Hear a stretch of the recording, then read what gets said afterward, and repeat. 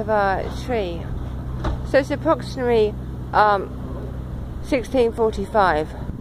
I've just walked out of Hostility Hostel.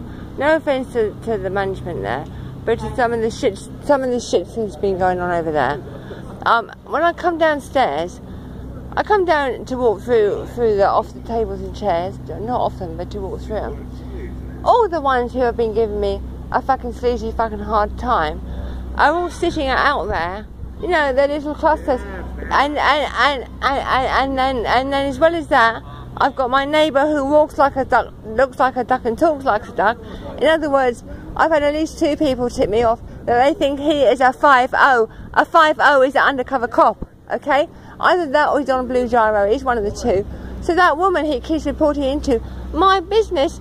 Once again, he's out there chatting to her. I said to the manager yesterday, I said it's intimidating for me to come from my room, to walk down the stairs, to walk outside because these ones who won't leave me alone, it's like a sleazy little group and just like I'm ganging up, you know.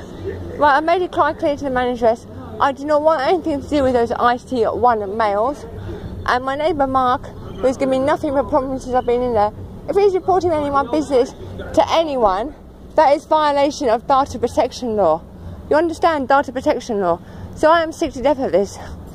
Now my boyfriend at the moment is hoping, he's hoping the manageress is dealing with this because he's got a lot on this weekend, and so have I. But do you know what? It's going to actually be a lot less paperwork for the manageress if someone deals with them from inside the place and they leave me alone and stop trying to crack on me every time I walk in or walk out. We're not friends, and the way they behave, I want nothing to do with them. Okay?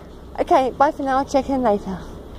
In the car park with my three drinking buddies at the moment, so I'll be quite safe for a few moments. See you in a bit, friends.